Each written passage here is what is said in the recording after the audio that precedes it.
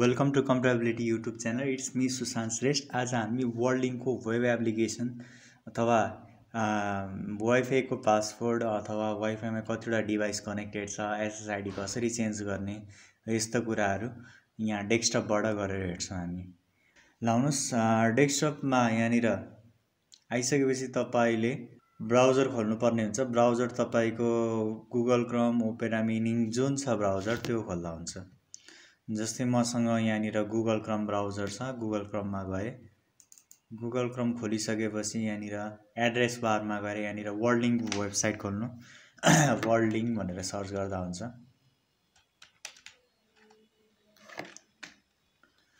वर्ल्डिङ भनेर सर्च गरिसकेपछि यहाँनिर तलपट्टि वर्ल्डिङ डट कम भनेर आउँछ डट कम डट एनपी।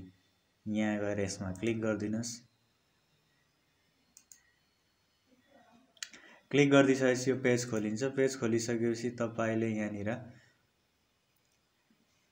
यहाँनिर लगइन अनलाइन सर्भिस यहाँनिर तपाईँको अनलाइन सर्भिस भनेर यहाँ कस्टमर लगइन भनेर दिएको छ।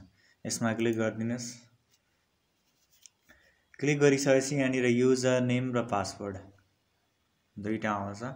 सुरुमा तपाईँले लगइन गर्नुभएको छैन भने लगइन यहाँबाट जिमेलबाट गर्नुपर्ने हुन्छ तपाईँले। यहाँबाट लगइन गर्नुभएको छैन भने तलपट्टि जिमेलबाट गर्नुपर्ने हुन्छ। जस्तै मैले यहाँनिर साइन इन विथ जिमे साइन इन विथ गुगलमा क्लिक गर्दै क्लिक गरिसकेपछि मैले एकाउन्ट लिङ्क गरेको छ यो एकाउन्टमा गएँ।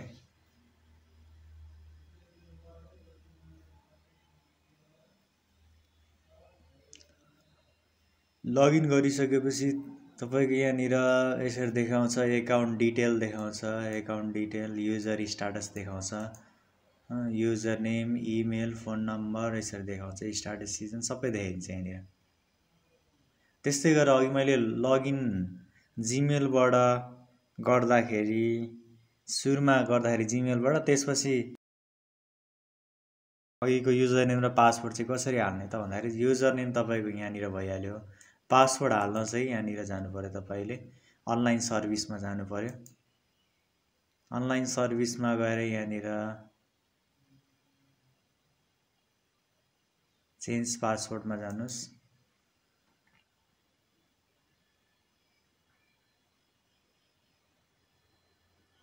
यहाँ गएर यसमा क्लिक गरिदिनुहोस्।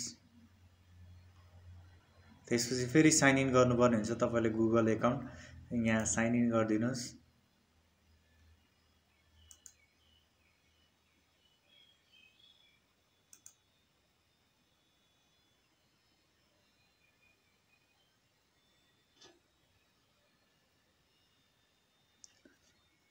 साइन इन गरिसकेपछि यहाँनिर है यो वाइफाई पासवर्ड भयो यो इन्टरनेट पासवर्ड यहाँनिर देखाउँछ तपाईँको।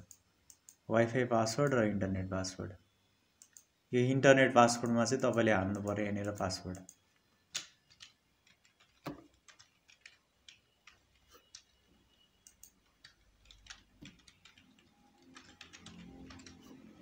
यो पासवर्ड हालेको पऱ्यो अनि मात्रै त्यहाँबाट लगइन गर्न सक्नुहुन्छ जस्तै मैले यहाँ चेन्ज गरिदिएँ। पासवर्ड चेन्ज भनेर यहाँ देखायो। त्यसपछि लगआउट गरिदिएँ यहाँबाट। लगआउट गरिसकेपछि यहाँनिर युजर नेम र पासवर्ड। यहाँनिर जस्तै युजर नेम हाल्नुहोस् लगइन गर्न सक्नुहुन्छ यसरी। त्यसपछि यहाँनिर है जस्तै तपाईँको एकाउन्ट डिटेलहरू यहाँ देखाउँछ युजर स्टाटस यहाँ देखाउँछ। त्यस्तै गरी यहाँनिर सुरुमा तपाईँको दिएको छ यहाँनिर अनलाइन सर्भिस भनेर दिएको छ। तलपट्टि यहाँनिर फाइबर होम कतिको स्पिड लिएको के लिएको रिन्यु डेट कहिले सबै देखाउँछ यहाँनिर। यहाँनिर अनलाइन सर्भिस भनेर दिएको छ। अनलाइन सर्भिसमा क्लिक गरिदिनुहोस्। यो चेक इन्टरनेट युज भनेर दिएको छ। इन्टरनेट युजेस जस्तै यहाँनिर फर दि मन्थ एप्रिल। एप्रिलमा कति युज भएको छ इन्टरनेट? तपाईँको हेर्न सक्नुहुन्छ यहाँ गएर चेन्ज यु चेक युजेसमा गएर। यसरी यहाँनिर दिन्छ। डाउनलोडिङ अपलोडिङ सबै दिएको हुन्छ। ड्युरेसन यसरी दिएको हुन्छ। त्यस्तै गरेर अर्को यहाँनिर अनलाइन सर्भिसमा हेर्नु फेरि अर्को छ यहाँनिर। Password change password. Change password अघि यो इन्टरनेट पासवर्ड भनिहालेँ मैले। Wifi password. वाइफाई पासवर्ड यहाँनिर। एसएसआइडी यहाँ देखाउँछ तपाईँको। हाइड एसएसआइडी यहाँनिर देखाउँछ। यहाँ हाइड गर्ने कि नगर्ने। त्यसपछि यहाँनिर न्यू वाइफाई पासवर्ड भन्ने देखाएको छ। यहाँनिर वाइफाईको पासवर्ड चेन्ज गर्न सक्नुहुन्छ। वाइफाई पासवर्ड चेन्ज गरिसकेपछि तपाईँले यहाँनिर वाइफाईलाई कुन मोडमा राख्ने यो राखेर त्यसपछि यहाँनिर पासवर्ड अघि हामीले लगइन गर्दाखेरि पासवर्ड हालेको थियौँ त्यो पासवर्ड हालेर चेन्ज गर्न सक्नुहुन्छ यहाँबाट। त्यस्तै गरेर फेरि चेक यर मेल यो मेलको मेल सर्भिसको लागि हो। त्यसपछि कन्ट्याक्ट अपडेट। यहाँनिर डिटेल अपडेट गर्न सक्नुहुन्छ तपाईँले कन्ट्याक्ट डिटेलहरू।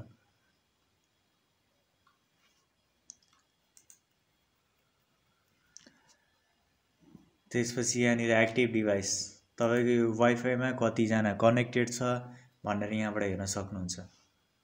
यो चाहिँ जुनै ठाउँमा बसेर इन्टरनेट भएको ठाउँमा बसेर लगइन गर्न सक्नुहुन्छ तपाईँले आफ। चारवटा डिभाइस कनेक्टेड छ यसरी देखाउँछ यहाँनिर फेरि अनलाइन सर्भिसमा जानुहोस्। त्यसपछि चेन्ज ब्यान्ड विथ भनेर छ। यो ब्यान्ड विथ चेन्ज गर्नको लागि यहाँनिर।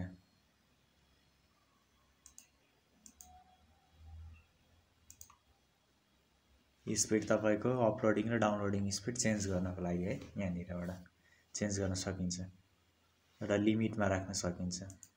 जस्तै मसँग ट्वेन्टी छ त्यसलाई टेनको स्पिडमा मात्रै चलाउनै हुन सकिन्छ।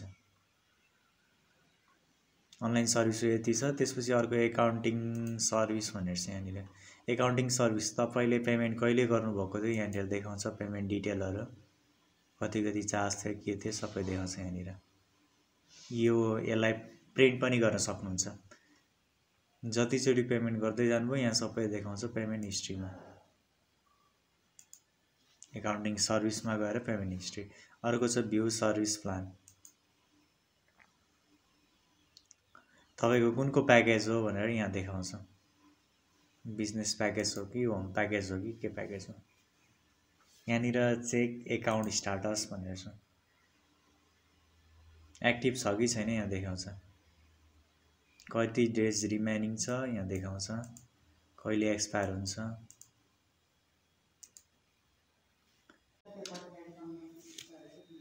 अर्को छ इ इ पेमेन्ट भनेर छ। यसबाट हामीले अनलाइन पेमेन्टहरू गर्न सकिन्छ यो एप्लिकेसनबाट। यो यो ब्याङ्कबाट भनेर दिएको छ।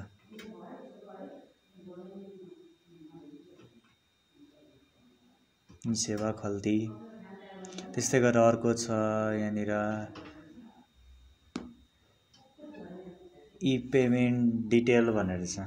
View e pay e payment detail भनेर चाहिँ तपाईँले अनलाइन पेमेन्ट गर्नुभएको छ भने यहाँबाट डिटेल पाउन सक्नुहुन्छ। कहिले कहिले पेमेन्ट गर्नुभयो र कति कति पेमेन्ट गर्नुभयो यहाँबाट देख्न सकिन्छ।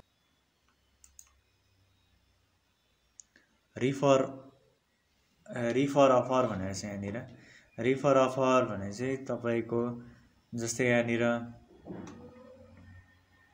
कोही साथीहरूले हाल्ने छ भने अथवा तपाईँको कोही चिनजानले हाल्ने छ भने यहाँ गएर तपाईँले कसको नाममा हाल्छ उसको नाम हालिदिने यहाँनिर। एड्रेस कहाँनिर हो? एड्रेस हालिदिने। मोबाइल नम्बर तपाईँले यहाँनिर पाउन सक्नुहुन्छ एक महिनाको। इन्टरनेट फ्री पाउन सक्नुहुन्छ। रिफर एन्ड अन भन्छ यसलाई चाहिँ। आफ्नो साथी कसैले इन्टरनेट जोड्छ भने यहाँ गएर तपाईँले नाम राखिदिनुहोस् एड्रेस दिनुहोस् यहाँनिर। यहाँनिर केही प्रब्लम आयो भने यहाँबाट हेर्न सक्नुहुन्छ कन्ट्याक्टहरू दिएको छ। होममा गयो। होममा गइसकेपछि यहाँनिर तपाईँको यहाँ अपडेट एसएसआइडी भनेर छ यहाँनिर। यसमा क्लिक गरिदिनुहोस्। अपडेट एसएसआइडीमा क्लिक गरिसकेपछि यहाँनिर एसएसआइडी भनेर देखाएको छ। यहाँ चेन्ज गरेर तपाईँले कुनै नाम हालेर तपाईँले यहाँनिर सेभ गर्न सक्नुहुन्छ। यो चाहिँ यहाँबाट सक्नुहुन्छ।